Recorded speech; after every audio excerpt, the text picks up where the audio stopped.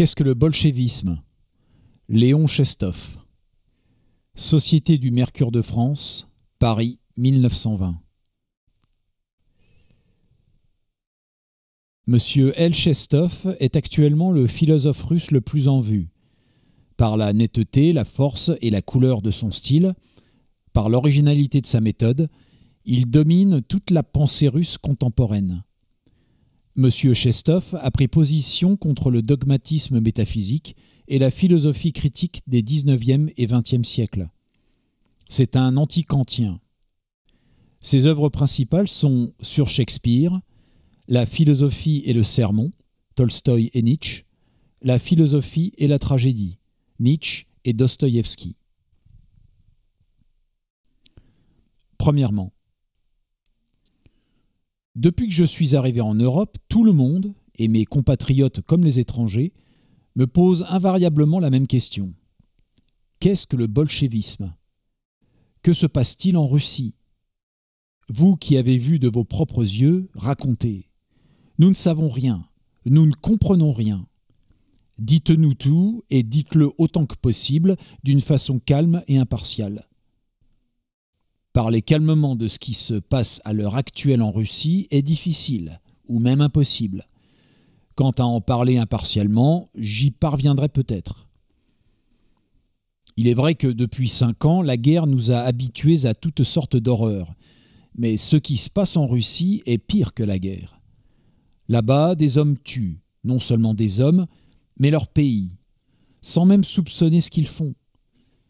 Les uns s'imaginent accomplir une grande œuvre et croient qu'ils sauvent l'humanité.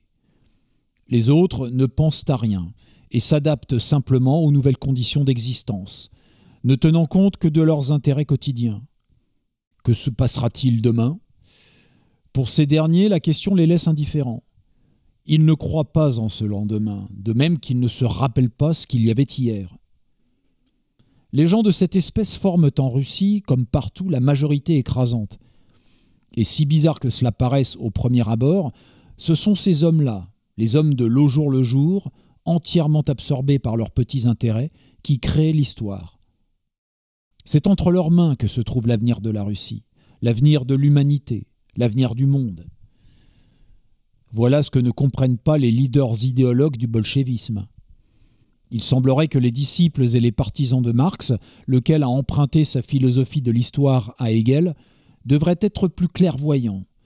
Savoir que l'histoire ne se fait pas dans les cabinets d'études et qu'elle ne se laisse pas encadrer comme une toile peinte dans des décrets arbitraires. Or, essayez de le dire à l'idéologue bolchéviste aux yeux bleu clair. Il n'arriverait seulement pas à comprendre de quoi vous lui parlez. Et si par hasard il le comprenait, il vous répondrait exactement de la même façon que répondaient jadis sous le tsar les rédacteurs du Novoye Vremia et autres journaux qui assumaient la triste tâche de justifier par des idées le régime d'asservissement. Tout cela, c'est du doctrinarisme. L'histoire, Hegel, la philosophie, la science, l'homme politique est affranchi de tout cela. Cet homme politique décide du sort du pays qui lui est confié d'après ses propres conceptions. On raconte que Nicolas Ier, auquel on avait présenté un projet d'une ligne de chemin de fer entre Moscou et Pétersbourg, sans examiner les plans des ingénieurs, traça sur la carte une ligne presque droite, reliant les deux capitales, et résolut ainsi le problème d'une façon simple et rapide. C'est de la même façon que les maîtres actuels de la Russie solutionnent toutes les questions. Et si le régime de Nicolas Ier, comme celui de la majorité de ses prédécesseurs et de ses successeurs, mérite en toute justice le nom de despotisme ignorant, c'est avec plus de justice encore qu'on peut caractériser par ce mot le régime des bolcheviks. C'est le despotisme, et je le souligne fortement, le despotisme ignorant. Les bolcheviks, exactement comme les hommes politiques d'un passé récent, non seulement ne croient pas à la vertu, scepticisme qui est, comme on le sait, admis en politique, mais ils ne croient pas davantage à la science. Il ne croit même pas à l'intelligence. Conservateur consciencieux des traditions politiques les plus durement russes, tradition de la période du servage, si vivante encore dans la mémoire de tous, il ne croit qu'au bâton, à la force physique brutale. De même encore que tout récemment, avant la guerre à la Douma, les députés de la droite du type Markov et Purishkevich ralliaient l'humanitarisme libéral et répondaient par des menaces de potence et de prison à toutes les tentatives de l'opposition tendant à faire sortir, si peu que ce fût, nos anciens ministres et nos hommes de gouvernement de leur ornière réactionnaire, les commissaires actuels ne connaissent qu'une seule expression Tcheresvichaïka ils sont convaincus que toute la profondeur de la sagesse gouvernementale réside dans ce mot. Les libertés, les garanties individuelles, etc. Tout cela n'est qu'invention vide de sens des savants d'Europe, des doctrinaires d'Occident. En Russie, nous nous en passerons bien des libertés et des garanties individuelles.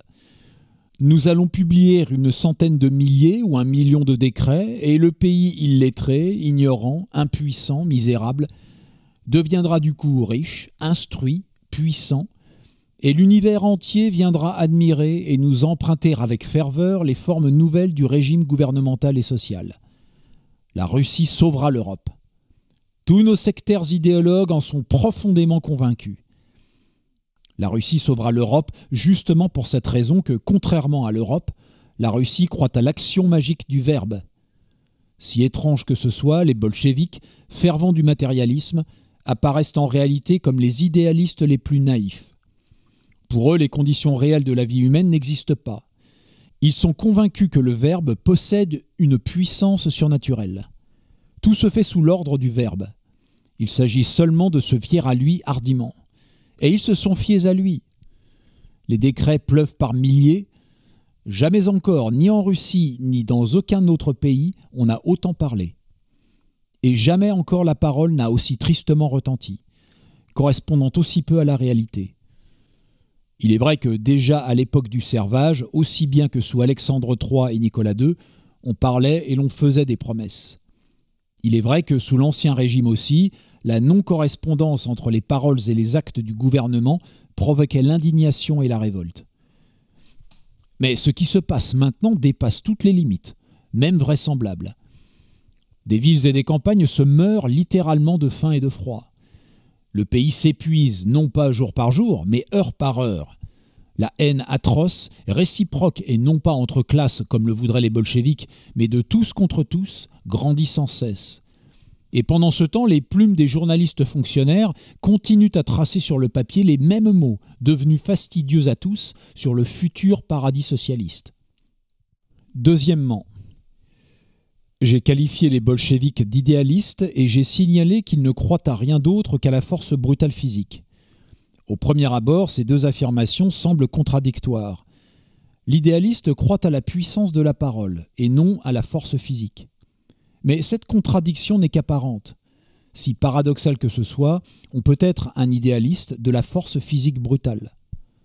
Or, en Russie tsariste, les cercles dirigeants avaient précisément toujours idéalisé la force brutale. Lorsque le gouvernement provisoire arriva avec le prince Elvov d'abord, puis avec Kerensky, il sembla à plus d'un qu'une nouvelle ère était née. Et en effet, pendant plusieurs mois, la Russie montra un spectacle saisissant. Un énorme pays s'étendant sur des centaines de milliers de kilomètres, avec une population de près de 200 millions d'habitants, se passant de toute autorité, car déjà au mois de mars 1917, sur l'ordre du gouvernement, dans tout le pays, la police avait été supprimée sans qu'on l'ait remplacée par quoi que ce soit d'autre. À Moscou, on plaisantait. Nous vivons maintenant sur parole, disait-on. Et en effet, on vécut assez longtemps sur parole, et on a relativement bien vécu. Le gouvernement provisoire évitait toute mesure plus ou moins rigoureuse, préférant agir par persuasion. Il faut admirer que, malgré une situation aussi exceptionnelle, l'existence ait été après tout très supportable en Russie jusqu'au coup d'État bolchéviste. On pouvait voyager en chemin de fer et sur les routes, sans confort il est vrai, mais aussi sans risque. Tout au moins sans grand risque d'être dépouillé et tué. Même au fond des campagnes, on ne pillait pas les propriétaires. Les paysans s'emparaient de la terre, mais quant aux propriétaires eux-mêmes, à leur maison, à leur fortune personnelle, ils n'y touchaient que rarement. J'ai passé l'été de 1917 dans un village du gouvernement de Toula, et l'ami chez qui j'habitais, bien qu'il fût un des plus gros propriétaires fonciers du district, n'avait guère de désagréments avec les paysans. Moi-même, par deux fois, j'ai fait en voiture le chemin de la propriété de mon ami à la station du chemin de fer, près de 28 verstes. D'autres ont fait le même trajet et tous ces voyages se sont fort bien terminés. Tout cela donnait apparemment au pouvoir central la conviction que sa force était la force de la vérité et qu'on pouvait, contrairement aux anciennes méthodes de gouvernement, chercher et obtenir l'ordre non par des mesures de contrainte organisées, mais par la seule force de la persuasion. Kerensky croyait même pouvoir mener à la bataille des soldats qui ne reconnaissaient pas de discipline. Mais les choses ne se passaient ainsi que sous le gouvernement provisoire, qui cherchait à instaurer la vérité à la place de la force. Et à ce point de vue, il faut dire que le gouvernement provisoire essayait bien d'atteindre un but révolutionnaire, mais en créant en Russie une nature d'homme de vérité, quelque chose du genre de ce qu'avait rêvé et dont avait parlé le comte Tolstoï, le prince Kropotkin, et qui n'était apparemment pas étranger à nos slavophiles. Je sais évidemment fort bien que ni le prince Elvov, ni Milyukov, ni Kerensky n'étaient assez naïfs pour tendre consciemment à la réalisation en Russie de l'idéal anarchiste. Mais en fait, c'était bien l'anarchie qu'ils favorisaient. Nous avions un gouvernement, nous n'avions pas d'autorité. Et les hommes qui faisaient partie du gouvernement couvraient de leur nom l'absence de toute autorité. Lorsqu'il s'est agi de choisir entre les méthodes de gouvernement employées par les fonctionnaires tsaristes et l'inaction de l'autorité, le gouvernement provisoire préféra l'inaction. Quant à trouver quelque chose de nouveau, il n'a pas su le faire. Les bolcheviks ayant remplacé le gouvernement provisoire se sont trouvés devant le même dilemme, ou les méthodes tsaristes ou l'absence de toute autorité. L'absence de toute autorité ne pouvait séduire les bolcheviks l'exemple du gouvernement provisoire ayant montré que l'absence de toute autorité était loin d'être chose aussi inoffensive que cela avait d'abord semblé à plus d'un. Mais quant à trouver quelque chose qui leur fût propre, les bolcheviks, eux non plus, ne l'ont pas su. Et avec l'audace propre à des gens qui ne se rendaient pas compte de tout ce que présentait de gravité et de responsabilité la tâche qu'ils assumaient, les bolcheviks ont décidé de rester fidèles entièrement et complètement aux errements de la vieille bureaucratie russe. Dès ce moment-là, pour quiconque était tant soit peu clairvoyant, apparurent du coup l'essence même du bolchevisme et son avenir. Il est clair que la révolution était écrasée et que le bolchevisme était essentiellement un mouvement profondément réactionnaire, constituait même un pas en arrière sur Nicolas II, car très rapidement, les bolcheviks comprirent que les méthodes de Nicolas II ne pouvaient leur suffire et qu'il leur était nécessaire d'adopter la sagesse gouvernementale de Nicolas Ier, voire même d'Arakcheyev. Le mot liberté est devenu pour eux le mot le plus haïssable. Ils ont vite compris qu'ils n'avaient pas à gouverner un pays libre, que le pays libre ne serait pas avec eux comme il n'avait jamais été avec Nicolas Ier, ni avec Alexandre III, ni avec Nicolas II. Pour un Français ou pour un Anglais, une telle situation semblerait tout à fait inadmissible. Le Français ou l'Anglais sait parfaitement qu'il ne saurait y avoir rien de bon dans un pays où il n'y a pas de liberté. Mais les bolcheviks russes, éduqués par le régime tsariste d'asservissement, n'ont parlé de liberté que tant que le pouvoir était entre les mains de leurs adversaires. Mais lorsque le pouvoir eut passé entre leurs mains à eux, ils renoncèrent sans aucun débat de conscience à toutes les libertés et déclarèrent de la façon la plus désinvolte l'idée même de la liberté bourgeoise, bonne pour la vieille Europe convertie, mais n'ayant aucune valeur pour la Russie. Un gouvernement, un pouvoir fort, c'est ce qu'il faut au peuple pour son bien, et moins on consultera le peuple, plus grand et plus solide sera son bonheur. Si Nicolas Ier et Arakcheyev, morts depuis longtemps, surgissaient de leur tombeau, ils pourraient triompher au point de vue de leurs idées. L'opposition russe, dès la première tentative de réaliser son haut idéal, a dû reconnaître que c'était le vrai idéal gouvernemental russe qui était le vrai. Qui veut comprendre ce qui se passe à l'heure actuelle en Russie doit examiner avec une attention particulière les premiers phénomènes de création gouvernementale des bolcheviks. Tout ce qu'ils ont fait plus tard se trouve très étroitement lié à leurs premiers actes. Ici en Europe, et parfois en Russie même, D'aucuns sont enclins à penser que le bolchevisme constitue une certaine nouveauté, voire même une nouveauté d'énorme importance. C'est une erreur. Le bolchevisme n'a rien su créer, et il ne crée rien. C'est en cela que réside sa plus lourde faute envers la Russie et aussi envers le monde, en tant que la Russie est liée au monde économiquement, politiquement et moralement. Le bolchevisme ne crée pas, il vit de ce qui a été avant lui. Pour sa politique intérieure, il a, comme je l'ai déjà dit, emprunté ses idées toutes faites à Arakcheyev et à Nicolas Ier. Quant à sa politique extérieure, il ne s'est pas montré plus original, à commencer par le traité de Brest-Litovsk qu'il a conclu, et à finir par ses tentatives d'élaborer un accord avec l'Europe dont on parle tant maintenant. Et tout ce qu'il a fait dans ce sens, nous reconnaissons les procédés de la politique asiatique d'Abdul Hamid, que nous avons vu si souvent à l'œuvre. Les bolcheviks ne comptent pas sur leurs propres forces, pas plus qu'Abdul Hamid ne comptait sur les siennes.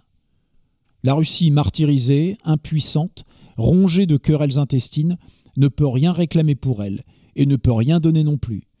Il ne reste qu'une chose chercher à jeter la discorde entre les États de l'Europe occidentale, entamer simultanément des pourparlers avec l'Angleterre, la France, l'Italie et l'Allemagne, escomptant la trop grande diversité et même l'opposition de leurs intérêts, espérant qu'en fin de compte, si l'on réussit à les heurter les uns contre les autres, on pourra retirer de leur conflit un profit plus ou moins grand. Voilà de quelle façon Abdul Hamid a pendant 30 ans sauvé la Turquie. Le peuple était dans la misère, mais le sultan se maintenait. Le pays s'appauvrissait et allait à sa perte, mais le pouvoir illimité de la dynastie ne subissait pas d'atteinte.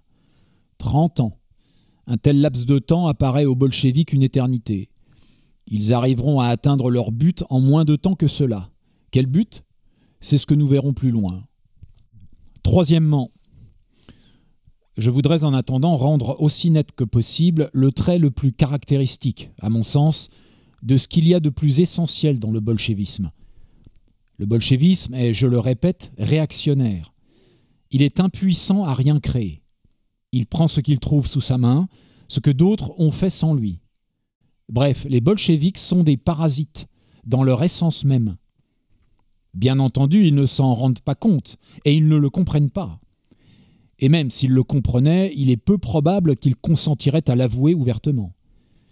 Mais dans tous les domaines où ils ont exercé leur activité est apparue leur particularité essentielle. Ils formulent eux-mêmes la tâche qu'ils ont à accomplir en disant que, d'abord, il faut tout détruire et ne commencer à créer qu'après avoir détruit. Si les bolcheviks idéologues aux yeux bleu clair étaient capables de peser un moment leurs paroles, ils en seraient effrayés. Je ne parle même pas de ce fait qu'une telle formule est nettement contradictoire avec l'enseignement fondamental du socialisme. Il va sans dire que Marx ne reconnaîtrait pas ses disciples ni ses partisans dans les hommes qui ont formulé un tel programme.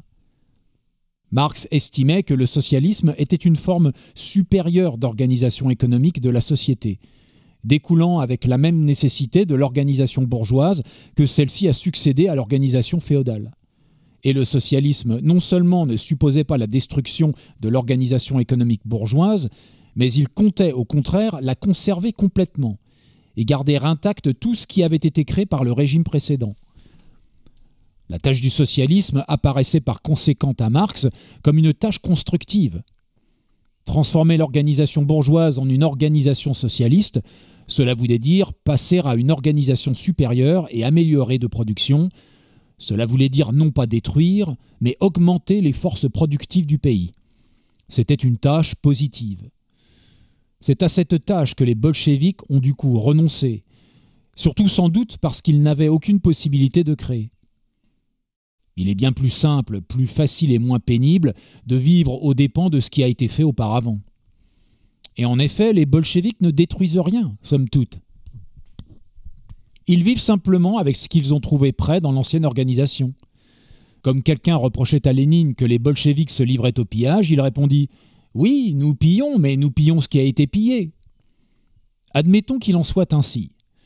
Admettons que véritablement les bolcheviks ne reprennent que ce qui a été pris de force avant eux. Cela ne change rien à l'affaire. Les bolcheviks demeurent des parasites, car n'ajoutant rien à ce qui a été créé avant eux, ils se nourrissent des sucs de l'organisme auquel ils se sont attachés. Combien de temps peut-on vivre ainsi? Combien de temps la Russie peut-elle nourrir les bolcheviks? Je ne saurais le dire. Peut-être le degré de patience et la capacité de soumission de notre patrie tromperont-ils tous nos calculs? Que n'a-t-elle pas supporté, la Russie? Quels parasites ne se sont pas nourris de ses sucs? Je n'irai pas rappeler le XVIIIe siècle, les règnes d'Anna Ivanovna et d'Elisabeth Petrovna. Mais le XIXe siècle lui-même a été sous ce rapport effroyable. La bureaucratie russe, disposant sans contrôle de la Russie et du peuple russe tout entier, partait toujours de ce point de vue que les fonctionnaires devaient commander et la population obéir. On raconte de Nicolas Ier que pendant la guerre de Crimée, un de ses ministres lui conseillant de publier dans la presse des renseignements plus détaillés sur la marche de la guerre, les habitants de Pétersbourg étant inquiets et émus, il répondit Inquiets Émus? Mais en quoi est-ce que cela les regarde? Nicolas Ier était primus inter pares parmi ses fonctionnaires. Chaque fonctionnaire était convaincu que la population, les habitants, la Russie n'a jamais aimé ni admis le mot citoyen, n'était qu'un objet de commandement. La population devait être heureuse d'avoir des maîtres s'incarnant dans le maître suprême, le tsar. Les étrangers conçoivent sans doute difficilement un tel état de choses, mais tant qu'ils ne l'auront pas compris, ils ne comprendront rien au bolchevisme. La bureaucratie russe a toujours été parasitaire. Plus que cela, non seulement les classes dirigeantes, mais toute la haute société russe menait à un degré plus ou moins prononcé une existence de parasites. Je me rappelle que lorsque parurent les premiers comptes rendus des inspecteurs du travail, j'étais encore étudiant à cette époque, le savant bien connu en Russie, le professeur Yanjoul, inspecteur du travail de la région de Moscou, résumait ainsi ses impressions sur tout ce qu'il avait vu dans les usines et les fabriques de sa région. L'industriel russe cherche à obtenir ses bénéfices non industriellement, c'est-à-dire par l'amélioration de ses procédés de production, mais par tout autre moyen, principalement par une exploitation cynique et dolosive des ouvriers. Voilà un autre fait qui pourrait bien paraître tout à fait invraisemblable à ceux qui ignorent les conditions de la virus. Le comte Tolstoï raconte dans ses œuvres posthumes qu'ayant eu l'idée, pendant sa jeunesse, d'acquérir une nouvelle propriété, il avait cherché à l'acheter dans une région où habitaient des paysans ne possédant pas de terre. De cette façon, dit le comte Tolstoï, j'aurais pu me procurer gratuitement les ouvriers dont j'avais besoin. Le parasitisme était caractéristique des hautes classes de la société d'avant la Révolution. Mais les nouveaux nobles, c'est-à-dire ceux qui se sont accrochés au gouvernement actuel, ont dépassé de beaucoup les anciens. De sorte que, même à ce dernier point de vue, le bolchevisme n'est pas original. Les bolcheviks ont fait tout ce qu'ils ont pu pour mettre obstacle à la révolution dans sa tâche fondamentale, l'affranchissement du peuple russe. Il est tout à fait évident que même l'œuvre de destruction, ils ne l'ont pas réussi. Ils ont détruit une grande partie des biens nationaux. Ils ont tué dans les prisons et les Tcheresvitchaïki un assez grand nombre d'anciens ministres, de tchinovniks et de riches. Je ne m'y arrêterai pas. Tout le monde sait comment travaillent les Tcheresvitchaïki lettonnes et les soldats chinois mais ils n'ont détruit ni le bureaucratisme ni la bourgeoisie. Jamais encore en Russie, la bureaucratie n'avait pullulé avec une telle rapidité. Et quelle bureaucratie oisive Pitoyable. Dans chaque service, il y a dix fois plus d'employés qu'il ne faut, et sur dix services, il s'en trouve à peine un seul qui serve à quelque chose. Tout le monde, hommes, femmes, jeunes et vieux, est fonctionnaire. Les bolcheviks sont convaincus que quiconque n'est pas fonctionnaire est dangereux pour l'État et persécute de toute façon ceux qui ne sont pas à son service. On les accable de contributions, on les prive de cartes d'alimentation, on les mobilise pour l'armée, etc. Et alors on se fait fonctionnaire, d'autant plus que les gens instruits sont complètement privés de toute espèce de gagne-pain, en dehors du traitement d'employés de l'État. Un manœuvre ou, d'une façon générale, un homme vigoureux peut encore aller à la campagne, où il pourrait trouver du travail et avec le travail un toit et un morceau de pain. Mais un homme instruit, un instituteur, un médecin, un ingénieur, un écrivain, un savant, est condamné à mourir de faim s'il ne consent pas à augmenter les hordes déjà innombrables des fonctionnaires parasites. Et la bourgeoisie, me demandera-t-on, elle est détruite? Nullement. Ce sont les anciens bourgeois qui sont détruits. Les fabricants, les négociants et leurs collaborateurs principaux ont péri pour la plupart, ou se sont enfuis. Mais la bourgeoisie est plus forte en Russie, plus nombreuse, de beaucoup plus nombreuse qu'elle n'était auparavant. Actuellement, presque tous les paysans en Russie sont des bourgeois. Ils gardent enfouis sous la terre des centaines de mille et même des millions de roubles émis sous le tsar, sous Kerensky, sous les soviets, de roubles ukrainiens et autres valeurs, et nous n'arrivons pas à leur arracher leurs richesses. Avec cela, la nouvelle bourgeoisie n'a plus aucune des traditions qui, dans une certaine mesure, réfrénaient les appétits de l'ancienne bourgeoisie. La Russie a toujours été le pays de l'arbitraire par excellence. Les ministres tsaristes du genre de Tcheglovitov ou de Maklakov n'ont jamais compris quelle grande force créatrice constituait dans un État une claire conception du droit. À tout moment, ils insultaient le peuple et de la façon la plus abominable, dans sa conception du droit et de la morale. Il n'y avait pas en Russie de justice, non seulement de justice clémente, mais simplement juste. Le code établi par Alexandre II avait fini très rapidement par n'être considéré par ses ministres que comme une lourde chaîne dont, tout en gardant un décorum extérieur relatif, il se débarrassait progressivement. Le peuple le comprenait admirablement. Il savait dans quel but on instituait des chefs de Zemstvos, pourquoi on introduisait la peine corporelle dans les campagnes et il haïssait les institutions et les autorités qui lui étaient imposées par une force extérieure.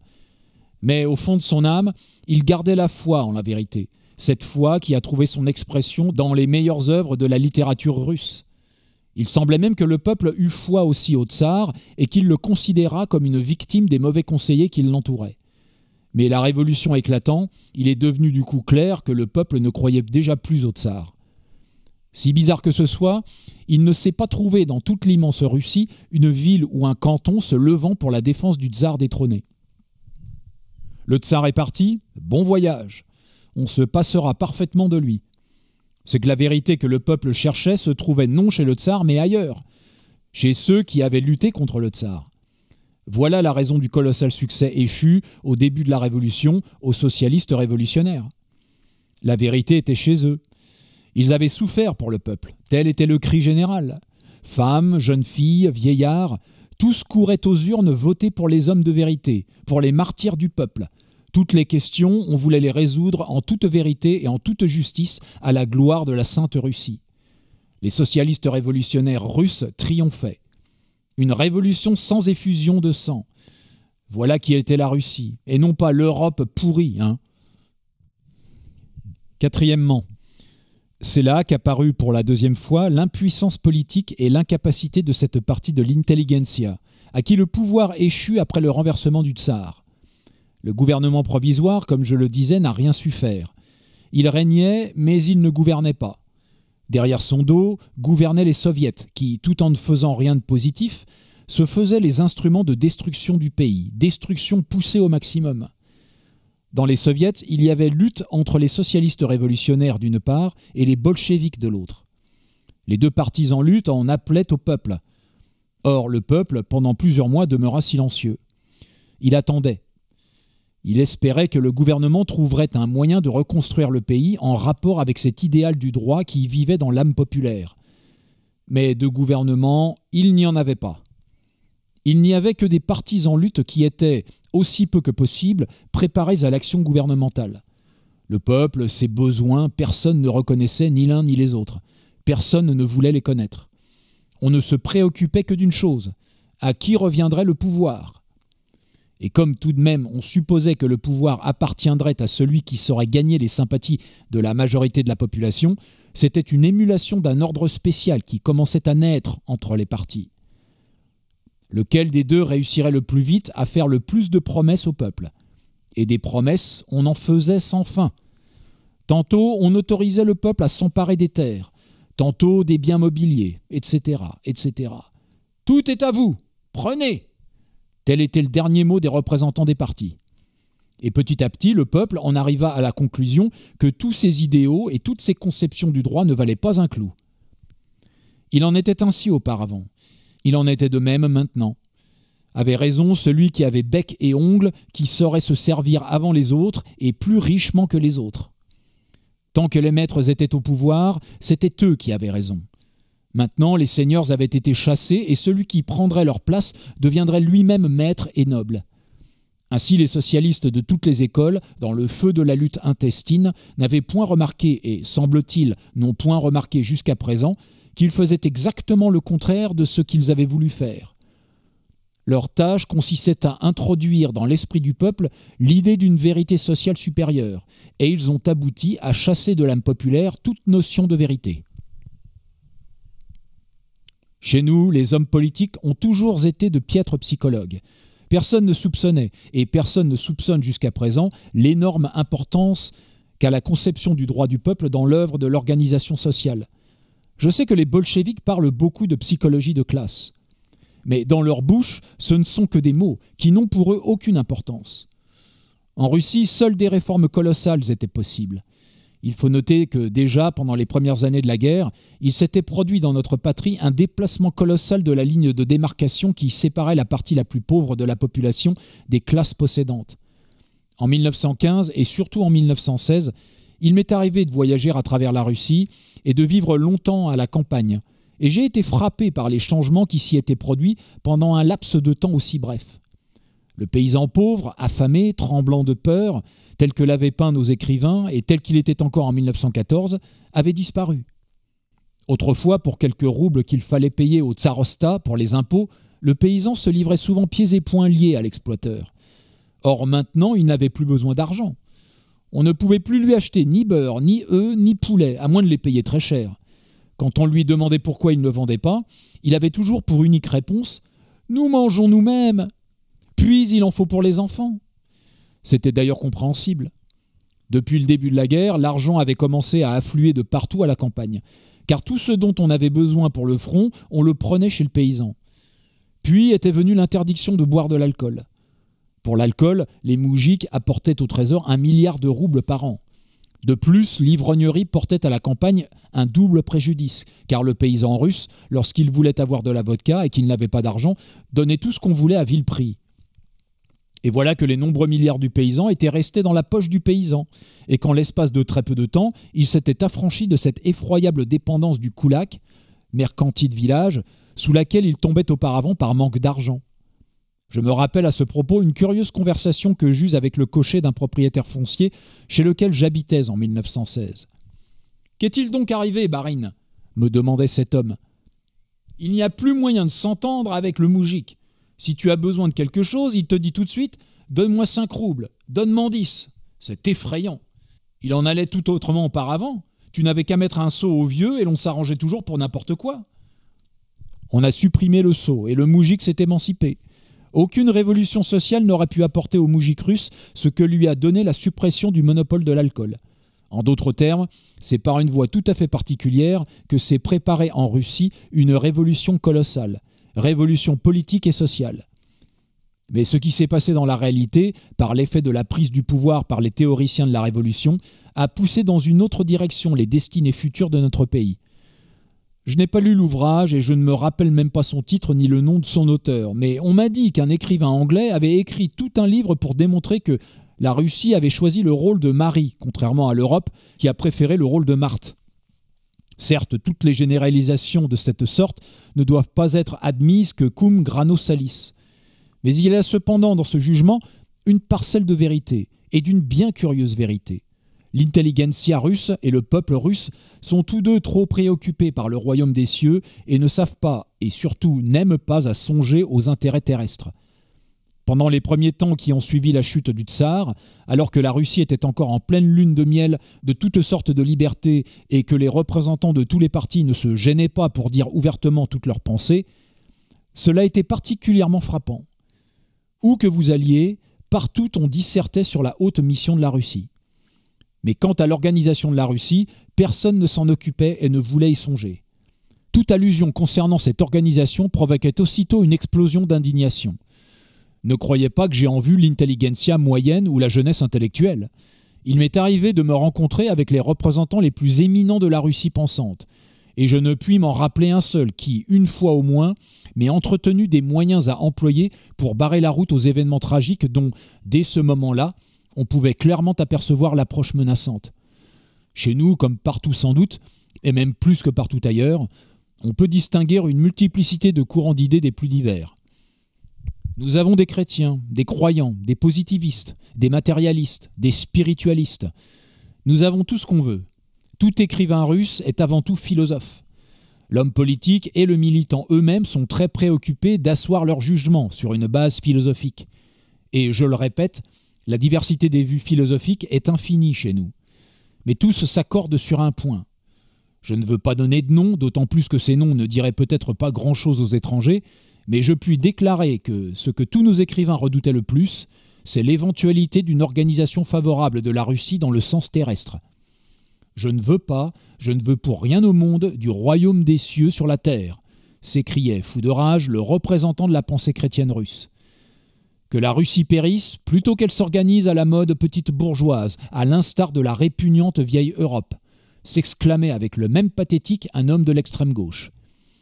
L'un des poètes les plus renommés de Russie, prononçant un discours devant une nombreuse assistance composée également d'écrivains, terminait ainsi Le tsar, nous l'avons jeté bas, mais il est encore resté un tsar. Là Il indiquait sa tête. Lorsque nous aurons chassé le tsar de la tête, c'est alors seulement que notre œuvre sera parachevée. Tout ce que je raconte ici ne contient pas un iota d'exagération. La haine de l'esprit petit bourgeois, ou plutôt de ce qu'il est convenu en Russie d'appeler de ce nom, est le mot d'ordre de toute la littérature russe, ou si l'on préfère, de toute la Russie pensante. C'est Herzen qui, le premier, a introduit ce terme. Herzen, le célèbre révolutionnaire russe qui a passé toute sa vie en exil en Europe. Il avait quitté la Russie sous Nicolas Ier, croyant trouver en Occident la réalisation de ses rêves les plus chers. Mais là où il venait à la recherche de son idéal, de ce que, parlant la langue de saint Augustin, on peut appeler amor dei usque ad contemplum sui, il ne trouva que l'esprit petit bourgeois. Amor sui usque ad contemptum dei. Dans les pays européens, on avait chassé les tsars, mais dans la tête des Européens, les tsars continuaient à habiter. On songeait non pas au ciel, mais à la terre. On s'organisait pour aujourd'hui et pour demain. On luttait contre la pauvreté, le froid, la faim, les épidémies. On construisait des fabriques, des usines, des chemins de fer. On établissait des parlements, des tribunaux. Il semblait parfois que les gens allaient s'arranger et que le royaume des cieux régnerait sur la terre. Quoi de plus effrayant? Les Européens secouent évidemment la tête. Ils savent que les appréhensions d'Herzen doivent être traitées pour le moins d'exagération. L'Europe était loin du royaume des cieux sur la terre, dans le passé, et maintenant encore, elle n'en est pas bien près. Je dirais pour ma part que ces appréhensions des Russes étaient tout à fait injustifiées. Bien entendu, si l'on s'était borné à jeter bas le tsar de son trône, mais que le tsar fût resté dans les têtes, nous n'aurions pas connu les effroyables choses que nous connaissons maintenant. La Russie aurait conservé son unité, elle ne serait pas décomposée, le peuple ne mourrait pas de faim, de froid et d'épidémie, les paysans et les ouvriers auraient respiré plus librement, affranchis de leur esclavage séculaire. Est-ce que tout cela est le royaume des cieux sur la terre? Est-ce que même dans la Russie rénovée, il n'y aurait pas eu encore assez de difficultés et de douleurs pour les fils de la Russie? Est-ce que même l'Europe petite bourgeoise était si heureuse que cela? Les Européens n'ont évidemment pas besoin d'en être convaincus. Mais les Russes ont gardé, il me semble bien, jusqu'à présent leur manière de voir. Cinquièmement, peut-être qu'après cette digression, on comprendra mieux pourquoi j'ai appelé les bolcheviks des parasites. De par leur essence même, ils ne peuvent pas créer et ne créeront jamais rien. Les leaders idéologues du bolchevisme peuvent, autant qu'il leur plaira, décliner et conjuguer les mots création et créer. Ils sont absolument incapables d'une création positive. Car l'esprit d'asservissement dont est imbu toute leur activité, et même toute leur idéologie simplifiée, tue toute création dans son germe.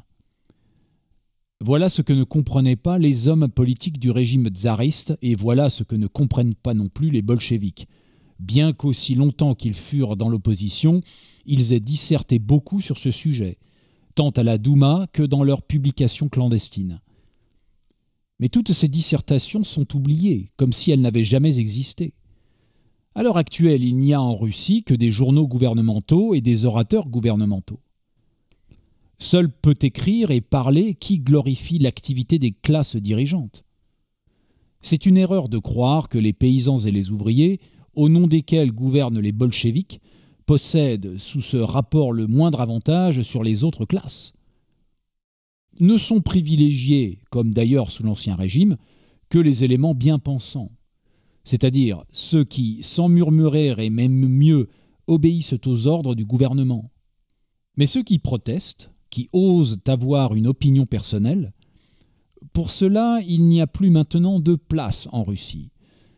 Et cela bien moins encore, infiniment moins encore que sous le régime des tsars.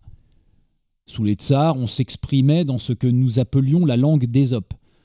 Mais l'on pouvait tout de même parler sans risquer la liberté et même la vie.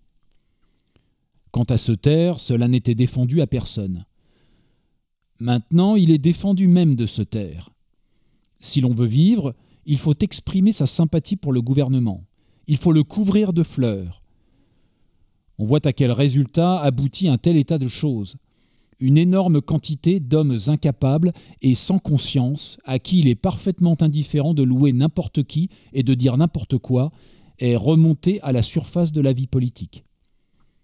Les bolcheviks eux-mêmes le savent fort bien, et ils ne manquent pas d'être effrayés par ce qui s'est passé. Mais ils ne peuvent rien faire, et l'on ne peut rien faire. Les hommes consciencieux et incapables ne peuvent pas, de par leur nature même, se faire à l'esclavage. La liberté leur est nécessaire comme l'air. Les bolcheviks ne comprennent pas cela. Voici une curieuse anecdote sur mes relations avec les bolcheviks. Un jour, c'était l'été passé, à Kiev, le portier de notre maison me remit une grande enveloppe grise avec la suscription au camarade Chestov. Je comprends que c'est une convocation à une réunion. Je décachette. C'est bien cela. On me convoque à une réunion où l'on doit discuter la question la dictature du prolétariat dans l'art. Je viens au jour et à l'heure indiquée. La séance est ouverte par le journaliste R, assez connu dans le sud de la Russie, un homme de grande taille, maigre, au visage typique d'intellectuel russe. Il parle facilement. On voit que c'est un habitué de la parole. Dès les premiers mots, sans prononcer mon nom, il attire l'attention sur ma présence à la réunion, cherchant évidemment à m'obliger à parler. Mais je ne demande pas la parole. J'attends. La discussion commence. Une opposition se manifeste, d'une façon très modérée bien entendu. Des écrivains, des journalistes prennent successivement la parole. Il y a même un poète connu qui participe à la discussion, laquelle roule tout entière sur le thème de l'art libre. Ensuite, la parole est demandée par le représentant de je ne sais plus quelle organisation militaire. C'est un petit bonhomme boiteux, portant une longue barbe noire. Dès ses premières paroles, il est clair que c'est un homme sans aucune instruction, infiniment plus à sa place dans une arrière-boutique que dans le domaine de l'art un de ceux dont on dit qu'ils ne savent pas faire de différence entre une statue et un tableau. Un tel individu aurait peut-être eu besoin de venir à la réunion pour écouter, pour apprendre quelque chose. Mais avec cette assurance qui est le propre de l'ignorance et de l'incapacité, le bonhomme vient non pas pour apprendre, mais pour enseigner. Et qu'enseigne-t-il? Ceci. D'une main de fer, dit-il, nous forcerons les écrivains, les poètes, les peintres, etc., à donner toutes leurs capacités techniques au service des besoins du prolétariat. Le discours est maladroit, long, ennuyeux, mal lié, mais le thème en reste toujours le même. Nous forcerons, nous contraindrons, nous arracherons cette capacité technique et nous nous en servirons. On lui répondit J'avoue pour ma part comprendre difficilement la psychologie de ceux qui lui répondirent et comment, d'une façon générale, on peut donner une réponse à des déclarations aussi ignares et aussi vulgaires. Il reprit la parole avec le sourire railleur et méprisant d'un homme qui connaît sa valeur. Après lui, c'est le président. Celui-là, comme je l'ai déjà dit, est un orateur expert. Dans un long discours bien ordonné, il déclare qu'il comprend évidemment ceux qui défendent un passé tout récent qui avait sa beauté et son intérêt. Mais le passé était passé, enterré à jamais. L'ouragan de la Grande Révolution avait balayé tout le passé. Et c'était l'orateur précédent, le boiteux à barbe noire, qui parlait si vivement sur la nécessité d'arracher d'une main de fer la technicité aux représentants de l'art, c'était celui-là qui inaugurait l'avenir. Moi-même, dit le président, j'étais, il n'y a pas bien longtemps, un admirateur du Ve siècle et de la culture hellénique. Aujourd'hui, j'ai compris que j'étais dans l'erreur. L'ouragan de la Révolution a balayé les vieux idéaux. Et il termina d'une façon fort inattendue pour moi.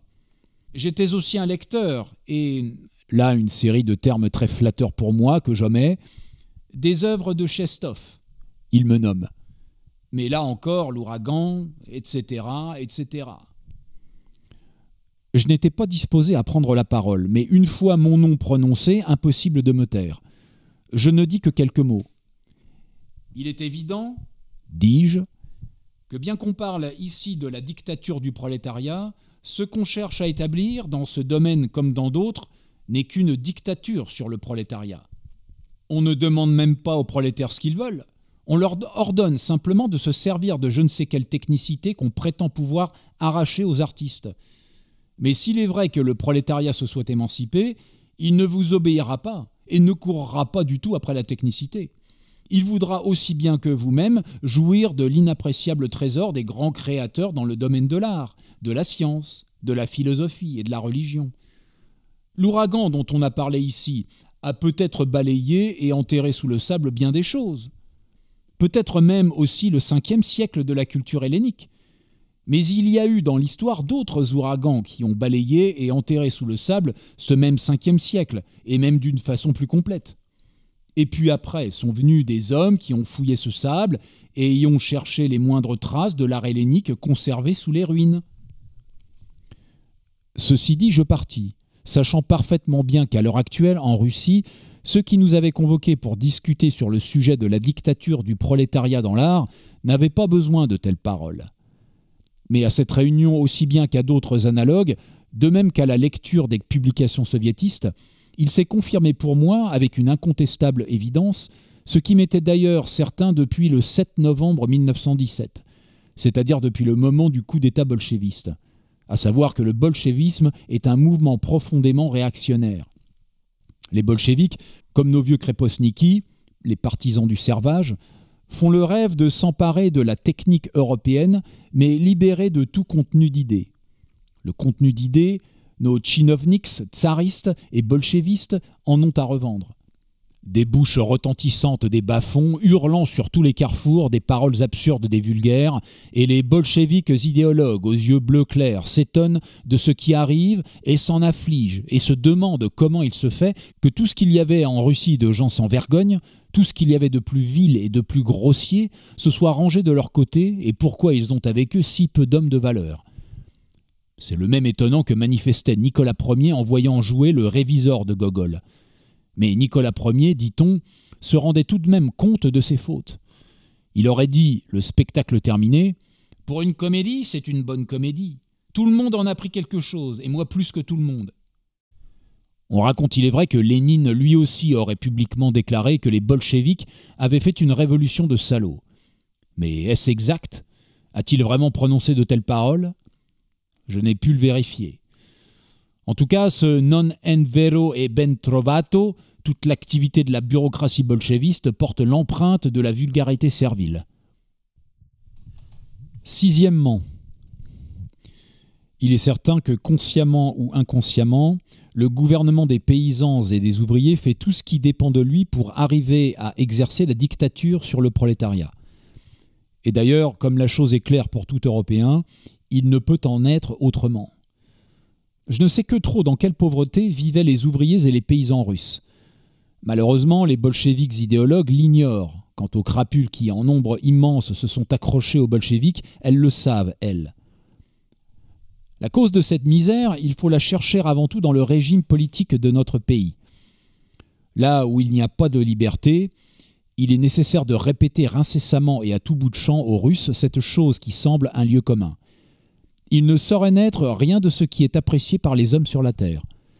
Seuls les Kreposniki, invétérés de la vieille Russie et ceux de la Russie prétendument rénovée, peuvent ignorer un tel truisme. Je puis l'affirmer avec certitude. La date du 7 novembre 1917 doit être considérée comme celle de l'effondrement de la révolution russe. Les bolcheviks n'ont pas sauvé, mais trahi la population ouvrière et paysanne. Les phrases les plus retentissantes restent des phrases et la réalité reste la réalité. Ce qu'il fallait avant tout à l'ouvrier russe et aux paysans russes, et même à l'intellectuel russe, c'était d'obtenir le titre de citoyen. Il fallait lui inspirer la conscience qu'il n'était pas un esclave, bafoué par quiconque en a le pouvoir, mais qu'il avait des droits, des droits sacrés, droits qu'il avait pour devoir de sauvegarder lui-même et que tous avaient à sauvegarder. C'est ce qu'a proclamé, comme tout le monde le sait, le gouvernement provisoire pendant les premiers jours de son existence. Mais les droits de l'homme et du citoyen, les droits auxquels pendant des siècles et des siècles avait inspiré le malheureux pays, ne sont restés inscrits que sur le papier. En réalité, quelques mois après, on avait commencé à établir l'ancien arbitraire. Les décrets et les nombreuses proclamations bolchevistes dont on a inondé la Russie ont été compris et interprétés par le peuple comme un appel à l'usurpation et au pillage. Prends qui peut et tant qu'il peut. Après, il sera trop tard. Il est difficile de décrire la fièvre de pillage qui a secoué toute la Russie du front. Des soldats par cent milliers retournaient chez eux avec des sacs de butin. On fuyait aussi rapidement que possible pour ne pas laisser passer le moment. Les grands mots sur la solidarité, sur les problèmes internationaux, dont les bolcheviks remplissaient abondamment leurs publications, n'ont jamais été entendus par personne. Le peuple s'est convaincu qu'aujourd'hui comme hier, ce qui existe, ce n'est pas le droit, mais la force. Possédera celui qui aura pris. Et l'on prenait sans la moindre gêne. Le pillage était suivi d'assassinats et de supplices. Peu de gens songeaient au travail. À quoi bon se livrer à un travail pénible quand il est si facile de s'enrichir sans peine? Dans l'atmosphère de férocité réciproque et de guerre civile s'éteignaient les dernières étincelles de la foi en la possibilité de réaliser la vérité sur la terre.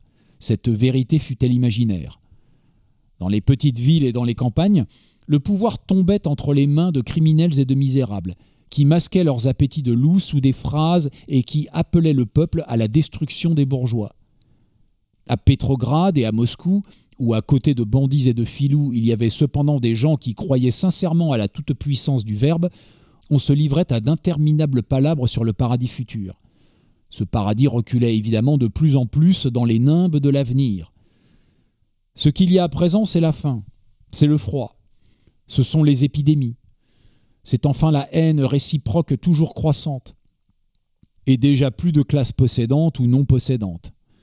L'ouvrier affamé est également et le bourgeois et son propre camarade, qui a su ou qui a eu la chance de se procurer un morceau de pain de plus ou un peu de bois pour sa famille qui a faim et froid.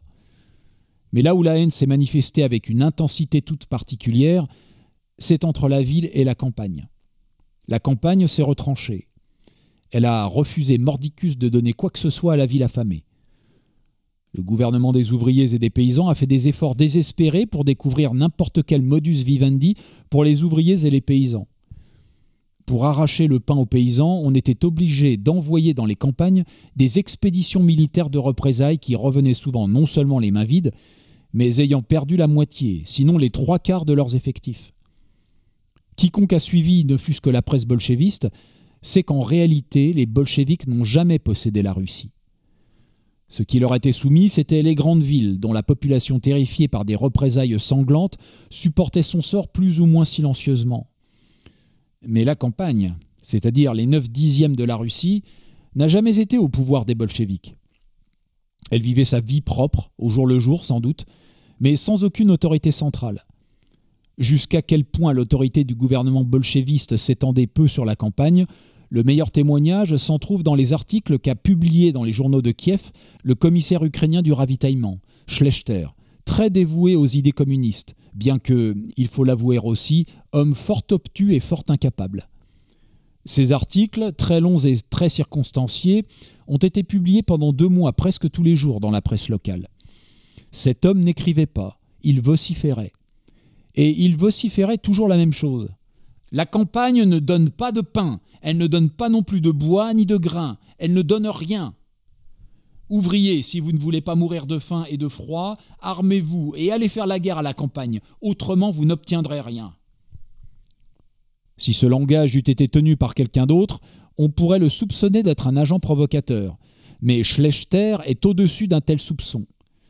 La vérité, c'est que Cosaque d'origine, malgré son nom allemand, il ne savait pas dissimuler son sentiment et sa pensée intime. Ce qu'il avait en tête lui sortait de la bouche. Je crois que si ses camarades étaient sincères, il serait depuis longtemps évident que le gouvernement des ouvriers et des paysans n'a pas su gagner les sympathies des ouvriers ni celles des paysans, et que les idées communistes, quelles qu'elles soient par elles-mêmes, ne rencontrent aucun acquiescement dans les larges masses de la population. La vieille bourgeoisie n'a pas su, il est vrai, se défendre. Elle est à terre. Mais non seulement, je le répète, la bourgeoisie n'est pas morte en Russie, elle s'est au contraire raffermie et accrue, comme jamais. En même temps, les procédés bolchevistes de sauvegarder les intérêts chers à l'âme russe ont montré une fois de plus que ceux qui avaient tant redouté que la Russie n'allât vers ce bonheur petit bourgeois dont jouissait l'Europe avant la guerre, et qu'il ne fût écrit dans le sort des fils de la Russie de contempler le royaume des cieux sur la terre, les procédés bolchevistes ont montré, dis-je, que cela s'inquiétait et se tourmentait vraiment pour rien. D'après les renseignements qui nous parviennent aujourd'hui de Russie, on y a établi le travail obligatoire de 10 et 12 heures, le salaire aux pièces, la surveillance militaire des ouvriers, etc. C'est tout naturel. L'ouvrier ne veut pas donner son travail, ni le paysan son pain. Or on a besoin de beaucoup de pain et de beaucoup de travail. Il ne reste donc qu'une seule issue. Il doit y avoir d'un côté des classes privilégiées qui ne travaillent pas et forcent les autres par des mesures terribles, impitoyables, à travailler au-dessus de leurs forces, et de l'autre des hommes sans privilèges, sans droits, qui, sans épargner leur santé et même leur vie, doivent fournir leur travail au profit du tout. Voilà ce qu'a apporté le bolchevisme, qui a tant promis aux ouvriers et aux paysans. Quant à ce qu'il a apporté à la Russie, je n'en parlerai pas, tout le monde le sait. Les bolcheviks idéologues possèdent encore un argument, le dernier. Oui, disent-ils, nous n'avons rien pu donner aux ouvriers et paysans russes, et nous avons ruiné la Russie. Mais il ne pouvait en être autrement. La Russie est un pays trop arriéré. Les Russes sont trop incultes pour adopter nos idées. Mais il ne s'agit ni de la Russie, ni des Russes. Notre tâche est plus large. Nous devons faire sauter l'Occident, détruire l'esprit petit bourgeois de l'Europe et de l'Amérique, et nous entretiendrons l'incendie en Russie jusqu'au moment où le feu aura embrasé nos voisins et de là sera répandu sur l'univers tout entier. C'est là notre plus haute tâche, c'est là notre rêve suprême. Nous donnerons à l'Europe des idées. L'Europe nous donnera sa technique, son savoir-faire, son don d'organisation, etc. Tel est l'ultima ratio des bolcheviks. Que vaut-elle? Septièmement, pendant mon long séjour dans les régions qui se trouvent au pouvoir des bolcheviks, j'ai noté un fait très curieux. C'étaient les tout jeunes gens, et aussi les gens pas très intelligents, qui devinaient et prévoyaient le mieux les événements. Au contraire, ceux qui étaient un peu plus âgés ou un peu plus intelligents se trompaient toujours dans leurs prévisions. Ils croyaient que la Russie ne resterait pas longtemps sous la domination des bolcheviks et que le peuple se soulèverait. Qu'à la première apparition d'une armée plus ou moins organisée, les armées bolchevistes fondraient comme la neige au soleil. La réalité a démenti les prévisions des hommes intelligents et expérimentés. Denikin avait tout de même créé quelque chose comme une armée et avait poussé avec une grande rapidité jusqu'à Orel. Mais plus rapidement encore, les bolcheviks l'ont rejeté jusqu'à la mer Noire. Ce sont les jeunes gens et les hommes pas très intelligents qui se sont montrés bons prophètes. Et maintenant, lorsqu'on cherche à entrevoir l'avenir, on se demande qui croire Les intelligents ou les non intelligents Les hommes intelligents partent du point de vue qui leur paraît l'évidence même, que les hommes et les peuples sont guidés dans leurs actes par leurs intérêts vitaux et sentent instinctivement ce qui leur est utile et ce qui leur est nuisible. Pour eux, il est clair que le bolchevisme était pernicieux, qu'il aboutirait à des désastres, à la faim, au froid, à la misère, à l'esclavage, etc. Par conséquent, disait-il, il ne peut pas durer longtemps. Il se maintiendra des semaines, des mois peut-être, et périra de lui-même. Mais il s'est déjà passé plus de deux ans. Il y en aura bientôt trois et le bolchevisme subsiste. Il subsiste bien que la faim, le froid et les épidémies fassent rage. Ce n'est donc pas le bon sens qui dirige les hommes. Et notre poète, qui s'affligeait de ce que le tsar ne fût pas définitivement chassé de la tête des Russes, se trompait donc? Mais dira-t-on, les Russes, eux, peuvent se faire à la misère, à l'arbitraire et à tout ce qu'on voudra? En Russie, ce sont les hommes tout jeunes et pas très intelligents qui voient juste. En Europe, il en est autrement. En est-il vraiment autrement? Je ne me risquerai pas à mon tour à prophétiser. Nous vivons maintenant une époque où il n'est guère possible de raisonner en n'ayant pour guide que le bon sens. Je ne puis justifier le bolchevisme russe. J'ai déjà dit, et je suis prêt à répéter encore, que le bolchevisme a trahi et perdu la révolution russe, et sans s'en rendre compte, a fait le jeu de la plus grossière et de la plus répugnante des réactions. Mais est-ce que les bolcheviks sont seuls à avoir abouti à un pareil suicide? Regardez de près ce qui s'est passé dans ces dernières années. Presque tout le monde a fait justement ce qu'il fallait le moins faire. Qui a perdu l'idée monarchiste? Les Hohenzollern, les Romanov et les Habsbourg.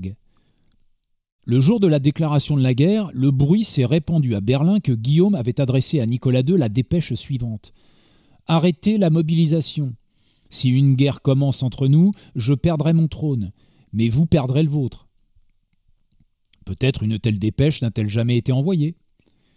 Mais celui qui avait lancé ce bruit s'est montré prophète.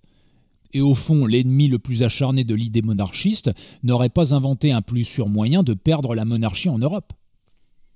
Les Hohenzollern, les Habsbourg et les Romanov, si leur raison n'eût pas été obscurcie par je ne sais quel envoûtement, auraient dû comprendre que les intérêts vitaux de leur dynastie exigeaient impérieusement des porteurs de couronnes impériales non l'hostilité entre eux, mais au contraire l'amitié la plus étroite, la plus sincère et la plus dévouée. Nicolas Ier le comprenait admirablement, lui qui envoyait des soldats russes réprimer les révolutionnaires hongrois. Alexandre III le comprenait aussi. Sous son règne, à côté de l'alliance franco-russe, il y avait le Dreikaiserbund, l'union des trois empereurs. Mais en 1914, les monarques européens se sont tout à coup jetés les uns sur les autres, à la gloire de la démocratie de l'Europe occidentale qu'ils exécraient le plus au monde. Il est évident que je ne sais quelle fatalité pesait sur eux, et le proverbe russe On n'échappe pas à son sort s'est trouvé justifié. Les hommes et les peuples font tout pour précipiter leur perte, si tel est leur destin. Maintenant, il est clair, je crois, pour tous, et pour les Allemands et pour les non-Allemands, que si intérêt il y avait, ces intérêts exigeaient tout ce qu'on voulait sauf la guerre, que la guerre était contraire à tous les intérêts de tous les hommes. En effet, si les Allemands avaient dépensé les moyens et l'énergie mis au service de la guerre au service des tâches constructives et non destructives, ils auraient pu transformer leur Vaterland en un paradis terrestre. On peut dire la même chose des autres peuples. La guerre a coûté des sommes fantastiques, plus d'un billion de francs. Et je ne parle même pas de tous ceux qui ont péri, des villes détruites, etc.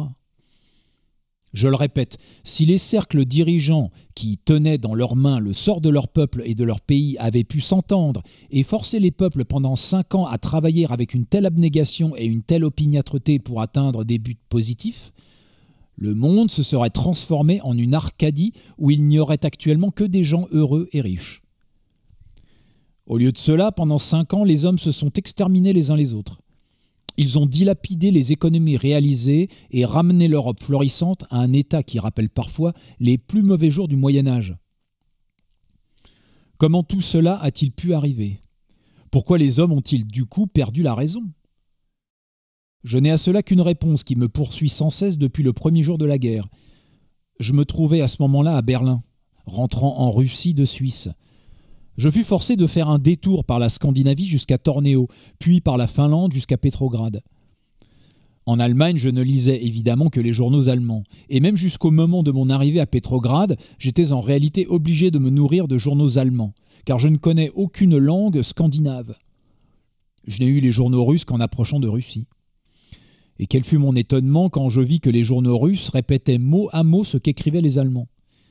On ne faisait évidemment que changer les noms. Les Allemands attaquaient les Russes en leur reprochant leur cruauté, leur égoïsme, leur esprit obtus, etc. Les Russes disaient la même chose des Allemands. Cela me frappa profondément, et je me rappelais tout à coup le récit biblique sur la confusion des langues, car c'était vraiment la tour de Babel.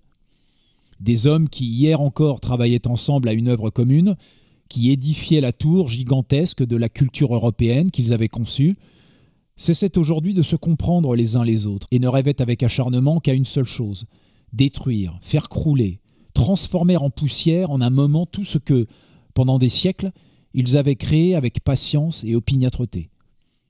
On eût dit que le monde entier s'était proposé de réaliser l'idéologie de ces écrivains russes qui, ainsi que je l'ai déjà dit plus haut, considéraient comme leur devoir d'homme de ne pas admettre la réalisation du royaume des cieux sur la terre, et de lutter avant tout contre l'idéologie de l'esprit petit bourgeois de l'Europe occidentale. Les tsars étaient encore solidement assis sur leur trône, mais en un instant, par un coup de baguette magique, ils avaient été chassés des têtes des hommes. Je sais que des explications de cette sorte ne sont plus de mode à l'heure actuelle, que la philosophie biblique de l'histoire ne dit pas grand-chose à l'esprit moderne, aussi ne vais-je pas insister beaucoup sur la valeur scientifique de l'explication que je propose, qu'on ne l'accepte, si on veut bien, qu'en symbole. Mais ce symbole ne change rien à l'affaire. Il reste devant nous un fait incontestable, à savoir qu'en 1914, les hommes ont perdu la raison. Peut-être le seigneur en courroux a-t-il confondu les langues. Peut-être y avait-il des causes naturelles. Mais d'une façon ou d'une autre, des hommes, les hommes cultivés du XXe siècle, ont sans aucun motif attiré sur eux-mêmes des calamités inouïes. Les monarques ont tué la monarchie. Les démocrates ont tué la démocratie. En Russie, les socialistes et les révolutionnaires tuent et ont déjà presque tué et le socialisme et la révolution.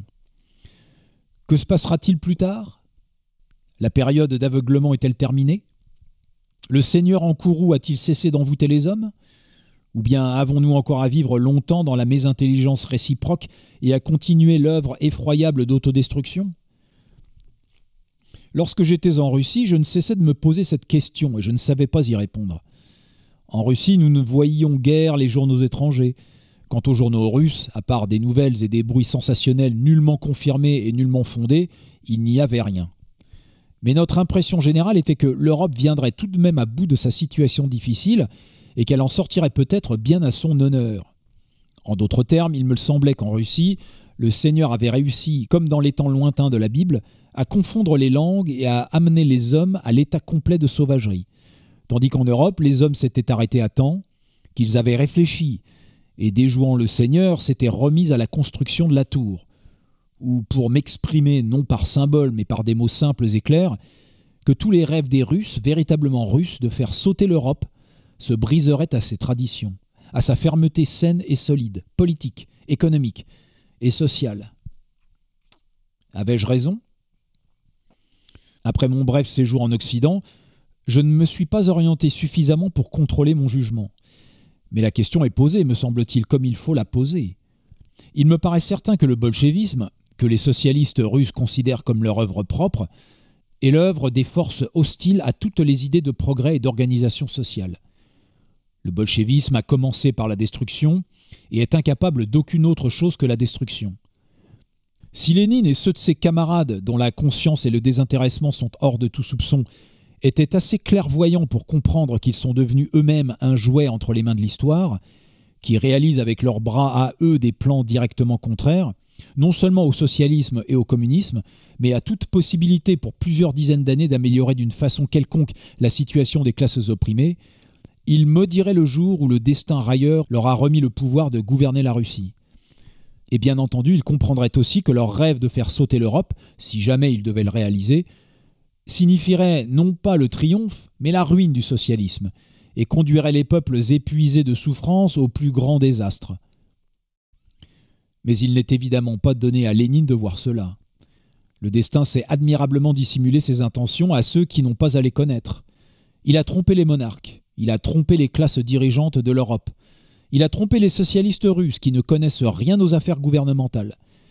Est-il dans les destinées de l'Occident d'être victime de ces illusions et de subir le sort de la Russie? Ou bien le destin s'est-il déjà rassasié des mots humains? Seul l'avenir peut répondre à cette question, et peut-être un avenir pas trop éloigné.